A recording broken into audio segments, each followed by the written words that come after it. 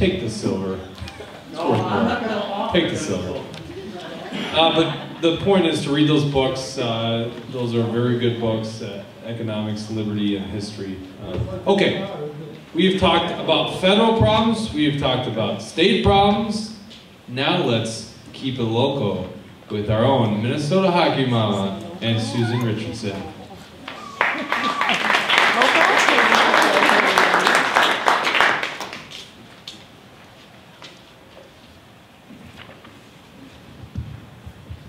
Right, I get my sidekick up here too, or I'm her sidekick, I don't know which. Um, yeah, Kirk, I don't know if you just want to, I'll just bring it in. And you really coordinated this.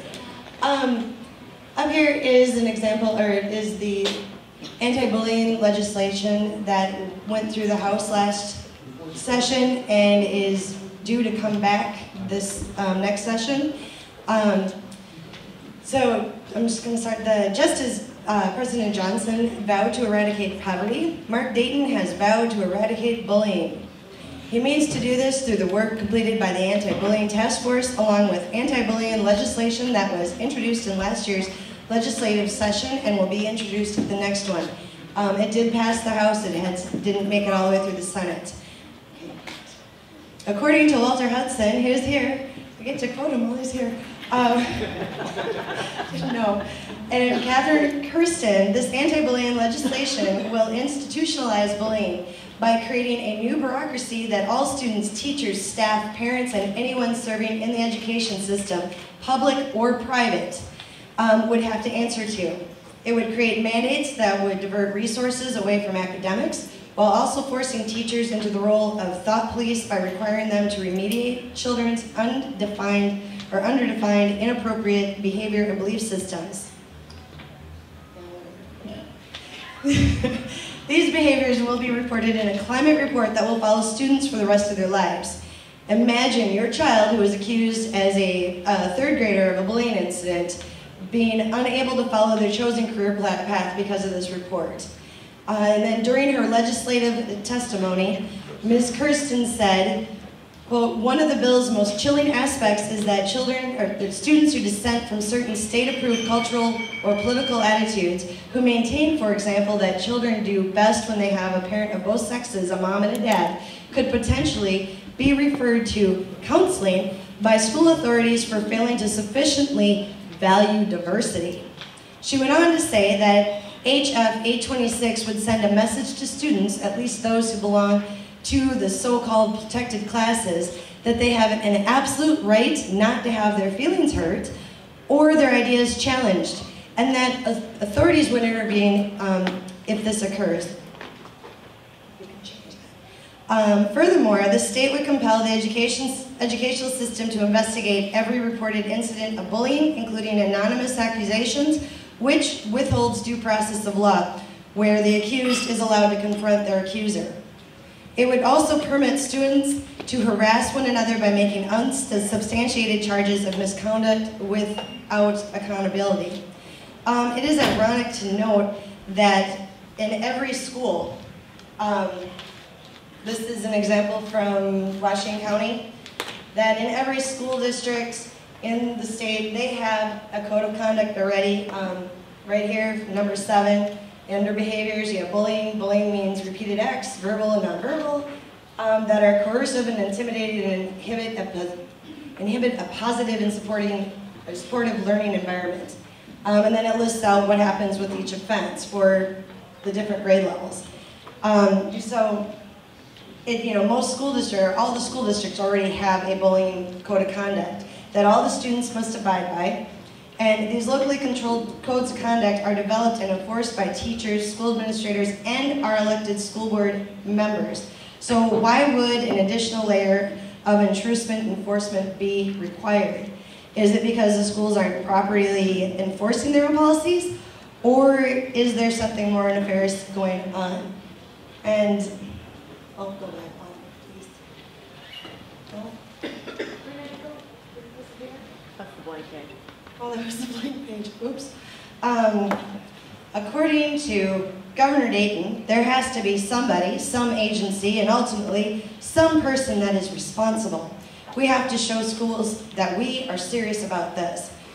Well, Susan is going to tell you about how our schools in District 8 through 3 have decided to get real serious about this. How are we doing so far, Walter? Great. Good. All right. Um, what I'm going to tell you is uh, actually mind-blowing, and as far as I know, it never went through the school board, and there was never any parental consent. Um, Woodbury resident Doug Ballinger was recently quoted in the Woodbury Bulletin saying that he was horribly bullied when he was growing up. This is therefore near and dear to his heart. And this is a problem that is not being fixed. Ballinger's thought process leads him to believe that adequate progress has not been made in the eradication of bullying. He also believes that each one of us has a range of tolerance of certain things. So that tolerance could be something as thick as a tree branch or as slim as a piece of spaghetti. So this is highly subjective, folks. It all depends on the victim's tolerance.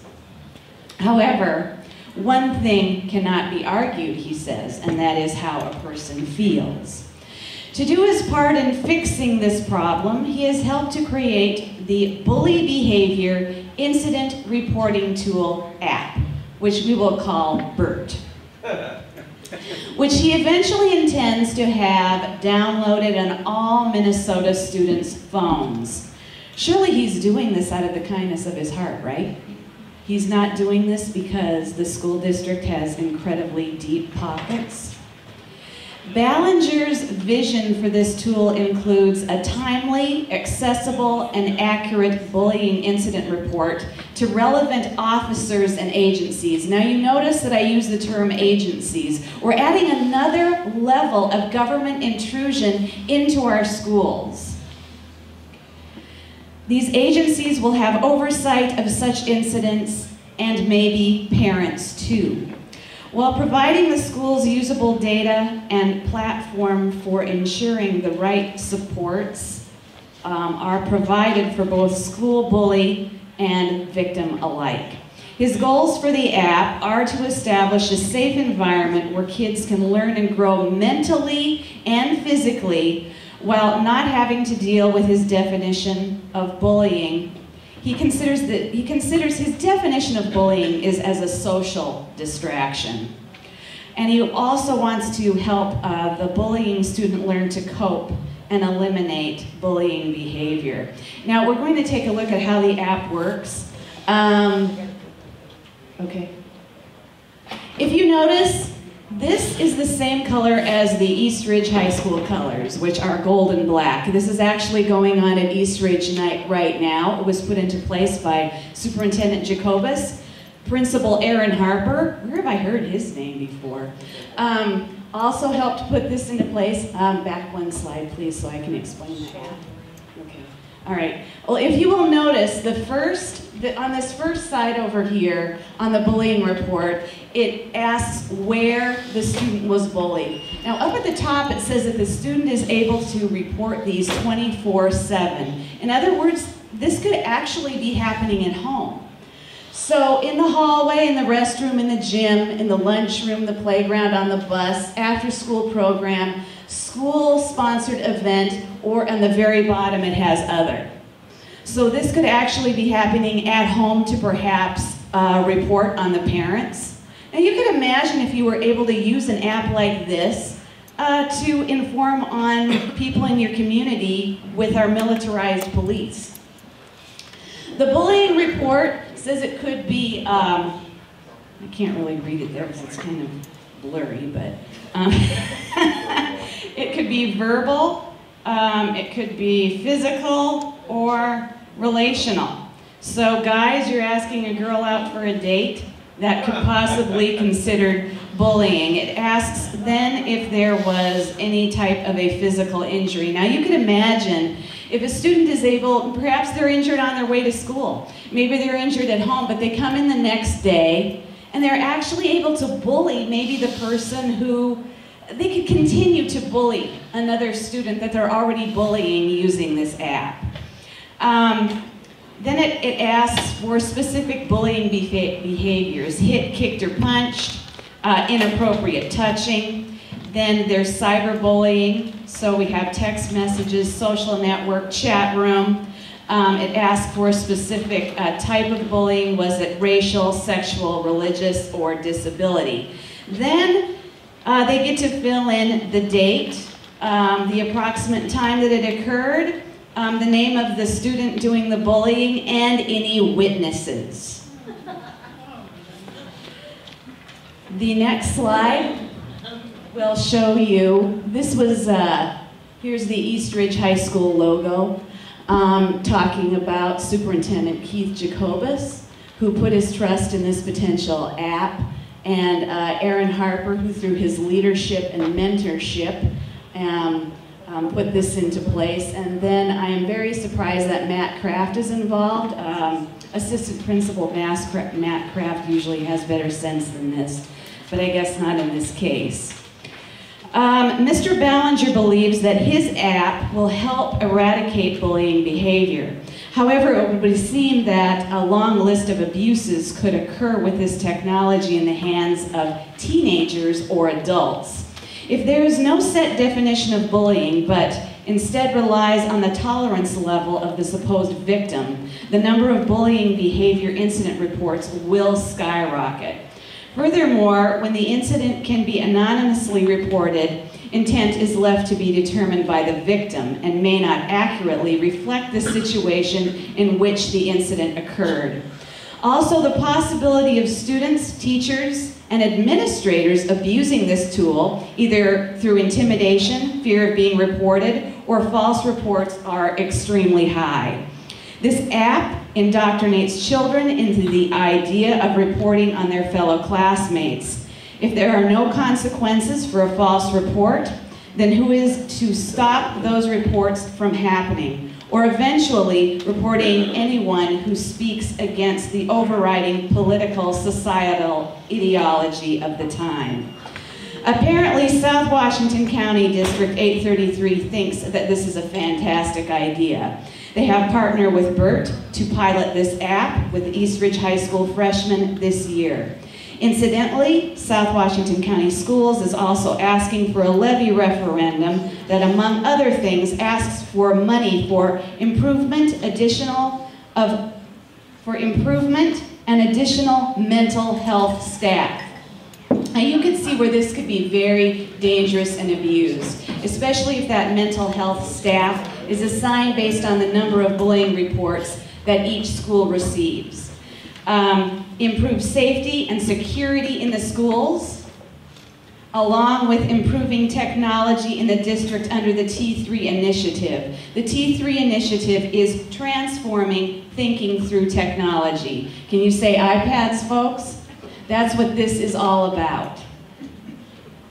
It would seem that the District 833 administration is all on board with this latest anti-bullying.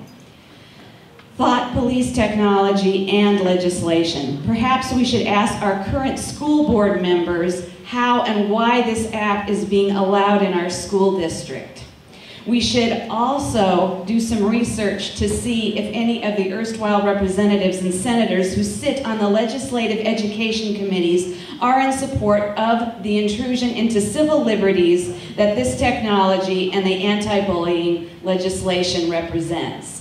Now, you remember how everybody got, I'm sorry, what?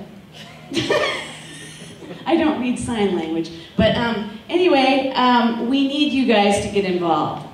When the gun legislation was coming down, we had a lot of people appearing at the Capitol. We want to let you know what's going on, and when we tell you what's going on, we would like you guys to get down to the Capitol so that you can react to this type of thing. Because at first they were coming for your guns, now they are coming for your kids. That's why it's so important for you guys to make wise decisions, wise choices in who gets on this school board. Because if Leilani and I can't stop this, the least we can do is let you know what is happening. You have anything to add, Andrea? Okay. All right. Thank you very much. Yes, question. My suggestion, I've lobbied for many, many years. Mm-hmm. Make a cartoon of it, send it all around who authored that bill. The church he goes to, on the door handle, the driver, on the car, on the driver's side, and get them around that neighborhood. And I promise you, you'll wake them up. So he's suggesting that we make a cartoon and we get out there and we find out which church this person attends who drafted this legislation and put it out in all the cars on the, in the parking lot. In the churches. In the churches. In the churches so people know what's going on. Now you can see where this could be used to intimidate school board members too, right? Right. Or parents, parents who complain about a Black Panther announcement at East Ridge High School, it be, could be used against them too. How about taxpayers in our community? It's time to get involved, you guys. We can't just sit here. We all need to stand up and do something. Yes? Will you elaborate on what the 833 yes, yes, yes is? Oh, on no. your, um, on want your me to help Facebook website? Yes. Uh, District 833, yes, yes, yes, is a group of parents, supposedly, who are pushing all three referendums down your throat. Now, I don't know if you're aware of this, but the Middleton Elementary principal was pulled off of her job and is actually pushing for the referendums. She has contacted legislators. I have one of the emails from one of the legislators that we presented at the school board meeting. Um, she, so taxpayers now, we're not only paying for her, but also the principal to fill her shoes. Um, 833, yes, yes, yes, is a group of parents who are working with the administration to get the word out for all of the people in South Washington County School District to vote yes for all three referendums. We do not have an organized group for 833 no, no, no, because the Democrat machine is now in full swing. And Leilani and I are kind of out there on our own, trying to do this on our own, so we could really use some help. Yes. Yes, sir. Plymouth, Michigan, radical with us, Tea Party sends its regards. I'm from Michigan, I'm here, I just moved to Oakland from the last two weeks. And I just wanted to say I was in the curriculum committee in Detroit.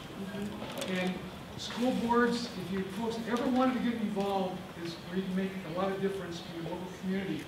Get involved. This common core initiative, which you probably have talked about, I'm I came in late, I was coming from another function this evening. The Common Core Initiative, everything you might have heard about it, affects all the schools. It's taking local control and sending it up to the federal government. It is a disaster. It's worse than you can imagine. I was on the curriculum committee, I've seen it, it's terrible. These people, they need your help, and if there's not a coordinated effort, if you've ever gotten involved before, now is the time. Thank you. Presidential elections are fun, but this is where it happens, right here.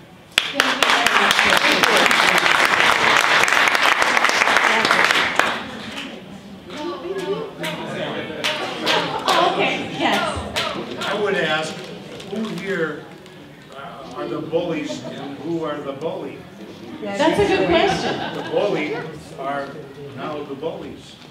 I would agree. He says that the bullied are now the bullies.